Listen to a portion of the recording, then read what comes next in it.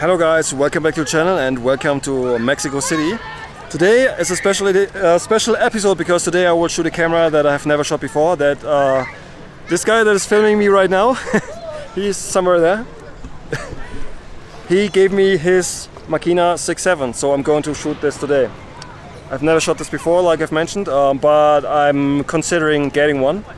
But probably the wide one with a 55 mm lens. This one has an 80 mm and he just got it back from repair but it's not fully functional. I mean it's functional but it's okay. It will work. So and the idea is to shoot this probably mostly wide open just to get the really nice bokeh out of this 80mm 2.8 and 6.7 which should look really awesome. And the film because yeah Murphy's Law uh, tried to buy some film but all the film shops that had 120 film they were closed today. There were only uh, some shops open, but they only had uh, 35 mil. So Luis also brought some film. That's really nice. And the film I'm going to shoot maybe first is this Acros and then maybe some Portra, which should give me some cool results. So yeah, without further ado, Makina 6.7, Portra, Acros, Mexico City, let's go.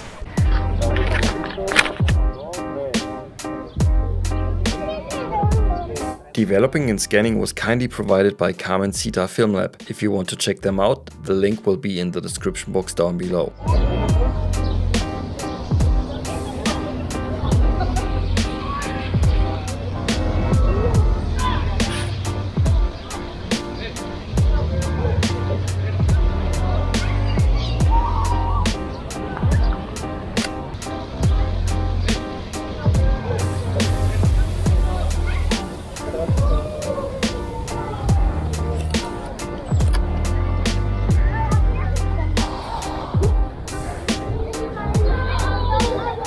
What I call a laptop.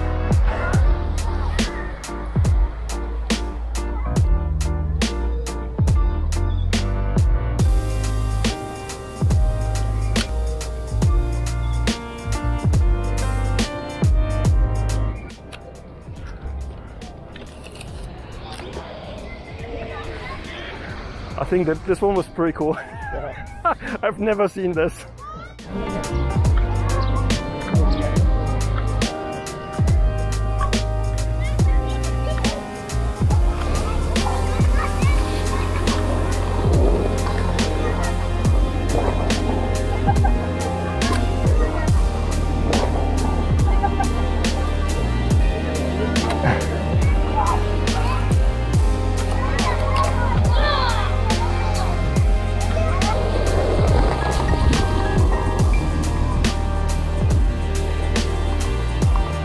Grazie. Wow.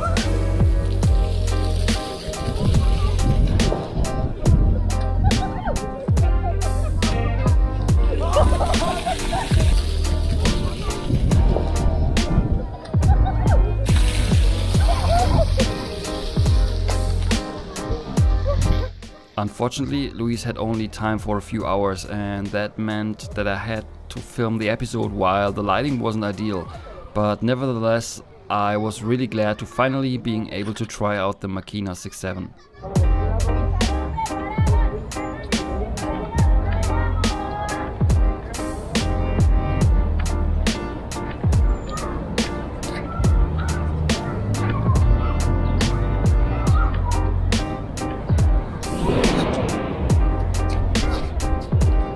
All the time in the world.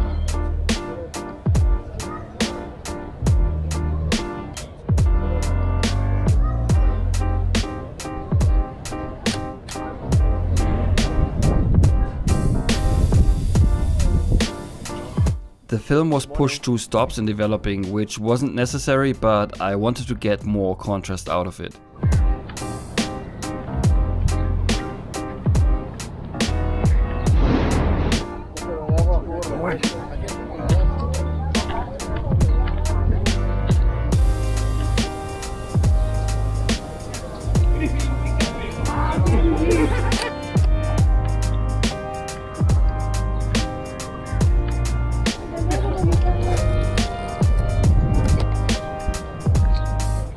Focus the lens you have to turn a dial in the back of the camera which isn't ideal but my hit rate was surprisingly high even though the depth of field is very shallow when shooting wide open at f2.8.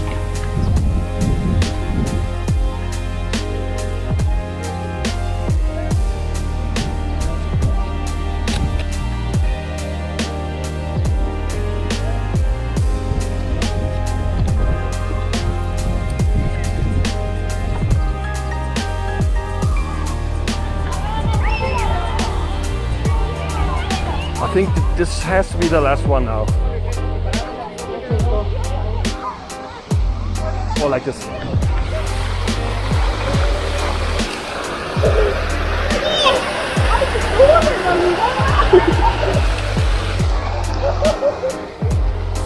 The frame counter wasn't working and I should have had two frames left, which was technically true, but for some reason that camera only gave me 8 photos on this roll.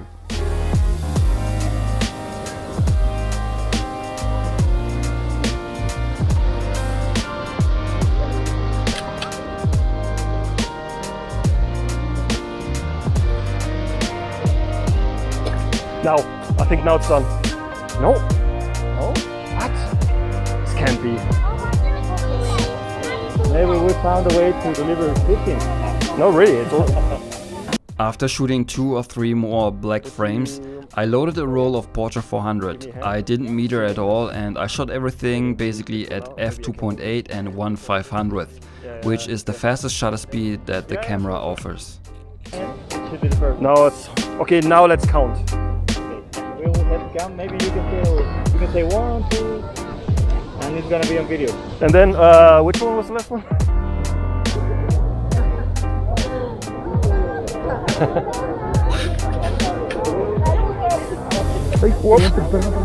I'm so sorry.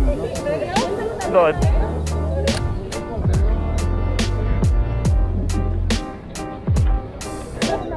Sorry.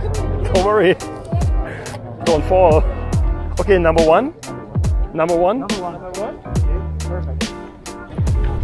One, you can do with the mariachi square. Yeah, why not? Yeah, sure. So let's do one more look at Yeah, yeah, sure. Might be a good idea.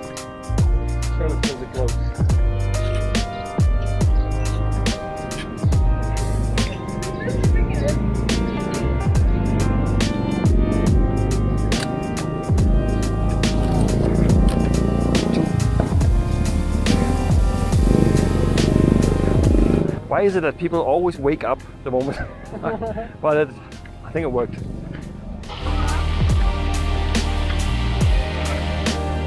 Maybe from the front.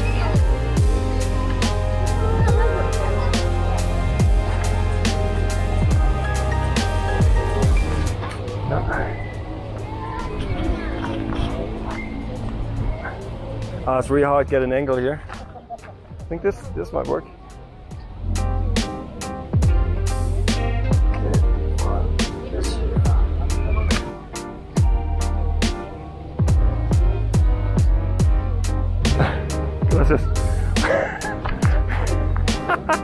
Horse. Yes. I like 120. Yes. Yeah, that's that's the camera. Okay, three. What frame was I on? Good.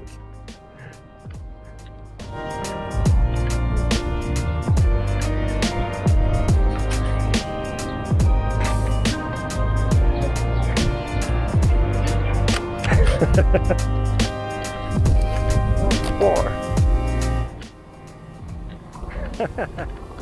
he looked right in the camera.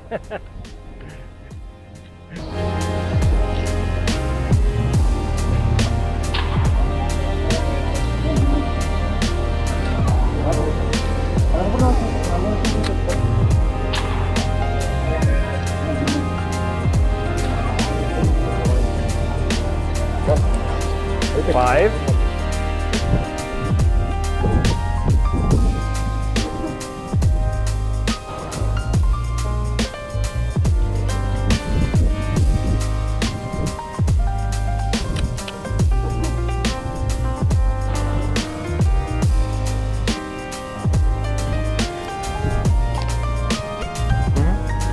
We went to this spot where usually a lot of mariachis hang out, but unfortunately that day there were only a few present.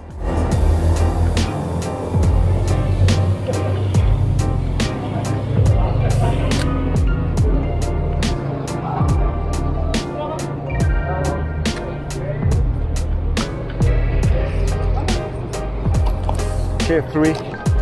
Three left? I hope I didn't. No, no, no. No, no, you're not.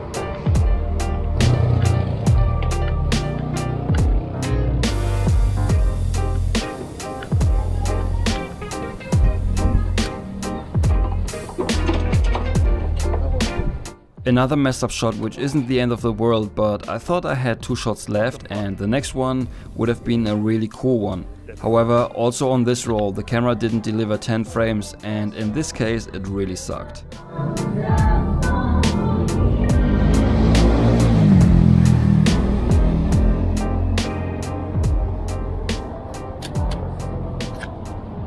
Not sure what the issue was, but I hope that Luis was able to get the camera fixed by now. Alright, so that was the Makina. Um, I have to say it's fun to shoot. The only problem was the frame count on this camera is not working because it's not fully repaired and also you have no idea when you took the last shot because you can still advance and shoot. Uh, there's no way to tell. So the first roller shot, I'm not sure which one was actually the last shot or maybe I shot some blank ones. Um, but still, it's fun shooting this. Um, maybe in the future we'll be able to get my hands on the 55 mm version. But yeah, that was good fun. I mean, that's so weird only having 10 frames. Maybe I should still consider the Fuji GA. What is it called? GA. GA45W because then you get 16 frames and it's also a 45 mm which is like equivalent to a 20 mm, 28 mm in full frame. Hmm. And it's even though this camera, I mean, it's, for what it is, it's really small. It's still hefty. I mean, you can tell if you take it in your hands. I mean, it looks like plasticky, but it's not. It's really it's, it's metal, so um, it's fairly hefty. But yeah, it's nice. Can't wait to see the images because apparently, uh, according to Luis, the lens is awesome. So Alright guys, that's it for today's video, at least for the shooting part. Do you have any um, experience shooting the Makina? Um, let me know in the comments down below. What do you think about this camera? I mean, I wanted to shoot this camera for a while and finally it happened.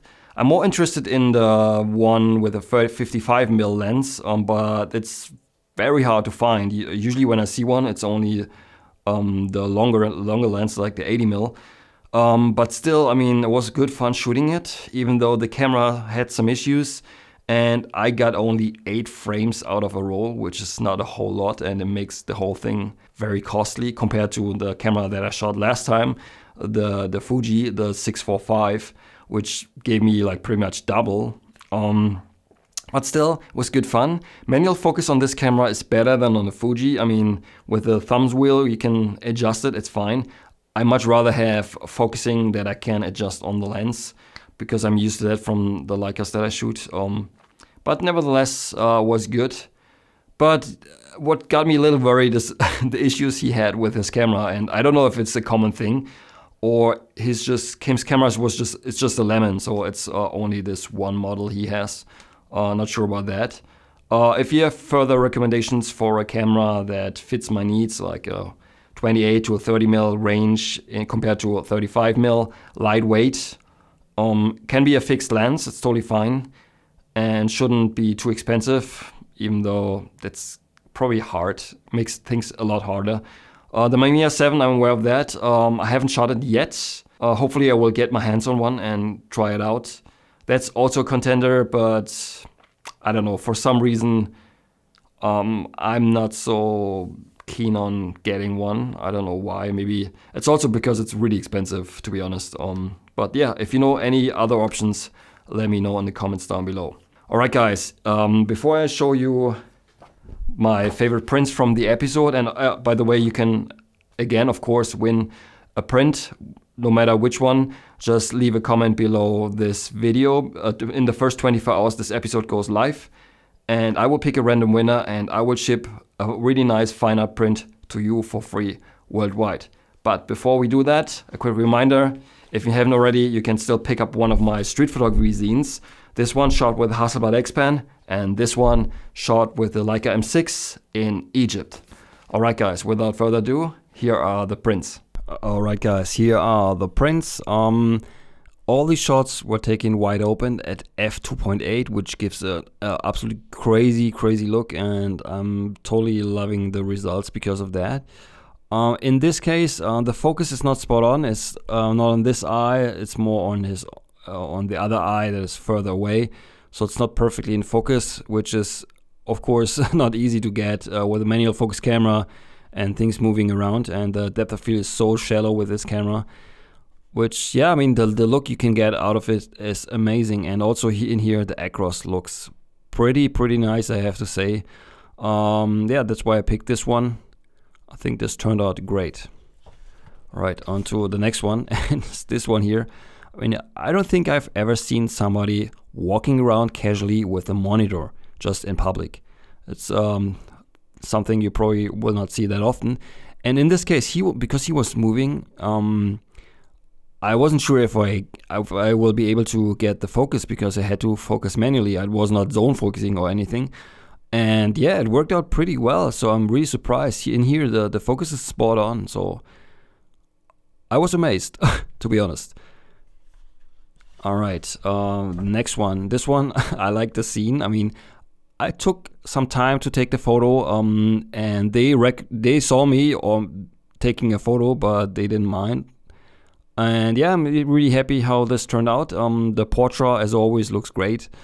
And there's not that much crazy uh, shadow depth of field to, to be seen here because the, the, the background is not that far away. But still, happy with this one. All right, on to the next one. This group of workers here. I mean, here the colors, um, they look nice. The Portra, the overexposed Portra looks really good. And the shadow of field here works pretty well. I think overall shooting this at 2.8, I mean, it's insane. And I think if you blow this up even more, like a really big print, this might look really, really nice uh, because the amount of details in here is pretty crazy. And the 6x7 negative as well helps in this case. All right, next one. And it's this one here.